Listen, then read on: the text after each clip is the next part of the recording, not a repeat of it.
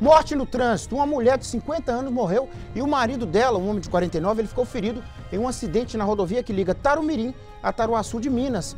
É, Giovanni Cláudia de Dias Martins, Giovanni Cláudia Dias Martins, conduziu a caminhonete e foi arremessada para fora do veículo. Olha só. Aí como é que sobrevive, né? É, aí é complicado. O Ivan conta pra gente. Ô Ivan, quando fala que é arremessado para fora do veículo, a perícia já vai para um para uma linha de, de investigação a respeito do que tem acontecido no acidente. Você vai falar sobre isso. Boa tarde, meu amigo. Sim, Nicomedes. Boa tarde para você, boa tarde a todo mundo que está com a gente aqui nesta edição do Balanço Geral. A Giovanni Cláudia Dias Martins chegou a ser socorrida para o Hospital São Sebastião, mas lá os médicos constataram a morte dela. Como você disse, Nicomedes, a mulher foi projetada para fora do veículo. Uma pessoa que mora às margens ali da estrada onde o acidente aconteceu ajudou o marido dela a localizá-la. Ele precisou utilizar uma lanterna em meio àquela vegetação. O marido da Giovanni Cláudia, que estava dirigindo, teve cortes na cabeça e também escoriações leves pelo corpo. Ele também foi encaminhado para o Hospital Pronto Socorro e é aqui que está o X da questão, Nicomedes, que você vinha falando aí de linha de investigação.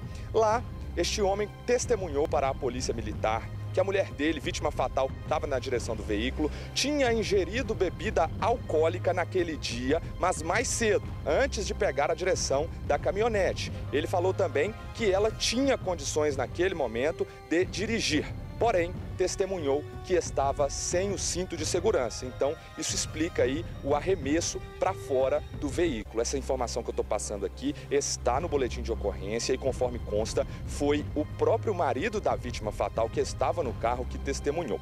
Nico, os médicos não conseguiram constatar a capacidade psicomotora desta mulher, porque, como eu falei, quando ela deu entrada na unidade hospitalar, já estava sem vida, então não foi possível realizar este exame. O corpo dela foi encaminhado para o Instituto Médico Legal e como nosso telespectador pode ver aí na imagem, a caminhonete ficou bastante danificada durante este capotamento que aconteceu na estrada que liga a cidade de Tarumirim até o distrito de Taruaçu de Minas. Eu volto com você aí no estúdio do Balanço Geral, Nicomedes. Importante frisar, Ivan, que o relato a respeito da ausência do uso do cinto de segurança parte do próprio marido, né?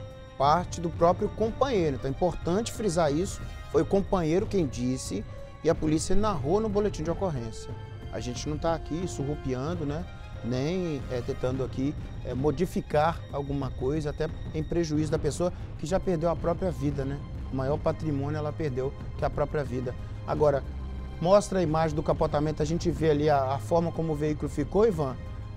Como disse o esposo que ela estava sem o cinto, a pessoa ela é jogada, né? À medida que o, que o carro vai fazendo aquelas, aqueles, aquelas rodagens em cima de, é, da do própria estrutura do carro, né?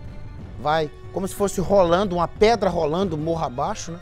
E cada giro do carro sobre si mesmo é uma pancada. A pessoa vai para o assoalho, vai para o teto, vai para o assoalho, vai para o teto, bate no vidro. Como que sobrevive? Daí a importância né, da gente usar o cinto. É, é verdade que o cinto minimiza muita coisa, né? O airbag também minimiza muita coisa.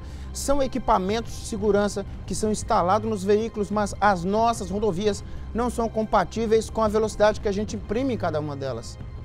Então a gente precisa ter uma reeducação em trânsito, porque é, o trânsito do Brasil especialmente aqui na nossa região, né? É, constantemente o noticiário fala aqui de acidente, morte, acidente, morte, acidente, morte, inválido, é, ferido, ferido grave, família chorando, morre adolescente, morre criança, morre pai, morre mãe, morre idoso, atropela não sei quem. O trânsito no Brasil é pior que uma guerra, parece uma selvageria.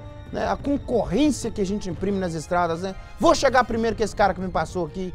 Calma, gente. O mundo não é assim, não. Obrigado, Ivan. Daqui a pouquinho você está de volta, amigo. Ivan tá no sol lá, coitado.